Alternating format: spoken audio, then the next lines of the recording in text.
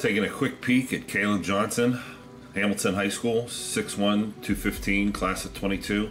Uh, I got to see him against Oak Hills his sophomore year, but I did not see him uh, junior year.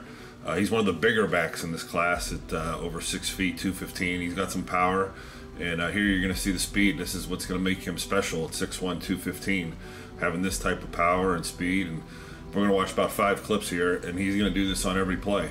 Uh, on this play in particular here, you're going to see him bounce it to the outside. And there you go, and see the speed kick in. And when he gets north and south, he's got all the things you want in a big back. Uh, look at the nice cut back there, full speed, turning direction on those guys, and they makes that look kind of easy for a bigger kid. You don't really see big kids doing that.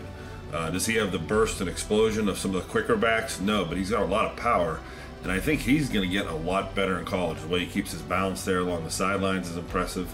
Uh, I think he's one of these raw prospects. The more reps he gets back there, the better he's going to get, and the stronger he gets, he's going to be very dangerous when he gets up to 200 225 pounds and keeps this type of speed.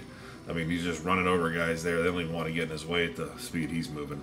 Uh, very nice prospect out of Hamilton High School, Kaleb Johnson.